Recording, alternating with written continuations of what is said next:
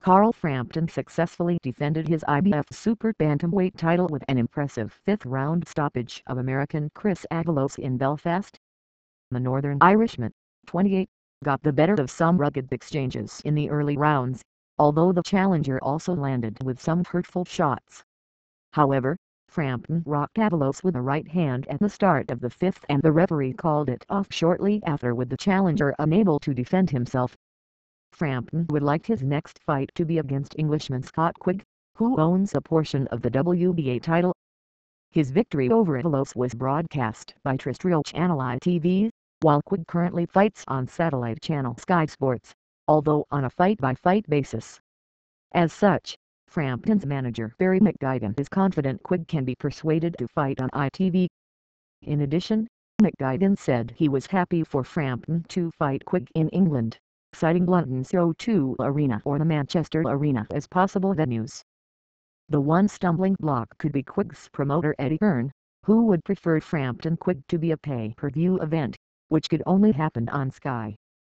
Scott and I would both love a summer showdown, said Frampton. Scott needs to remember who's the real world champion. It's a massive fight and it should happen. I will leave Belfast if I have to, the WBA's so-called super champion at 122 pounds is gifted Cuban Guillermo Rigondeaux, who claims he is open to a fight against Frampton. Leo Santa Cruz, the WBC champion, is also an option, especially if Frampton chooses to fight in the United States, where television networks HBO and Showtime are said to be interested in showcasing the Ulsterman. They are sure to be even more interested after Frampton's impressive display against Avalos which was the champion's first outing on terrestrial television and will have won him a new audience beyond his native Belfast. Frampton won the IBF title with a stern points victory over Spain's Kiko Martinez in a temporary outdoor arena in Belfast last September. And Frampton came out full of similar intent at Rocking Odyssey Arena, which was already at fever pitch before the two men entered the ring. While Frampton shaded the first round, Avalos, who was twice warned for hitting on the break, served notice that he had not traveled from his native California purely for payday. Avalos appeared to injure his right shoulder in round two and came under attack from Frampton, entirely legitimately, while his back was turned.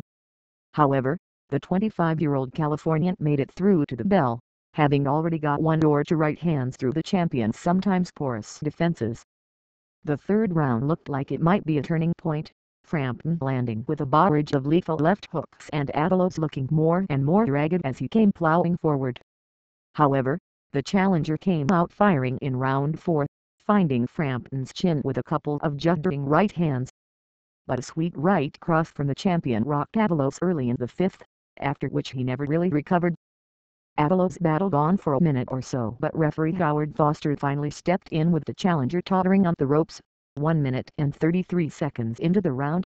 Frampton is now undefeated in 20 professional fights, with 14 knockouts, while Avalos falls to 25 wins from 28 pro fights.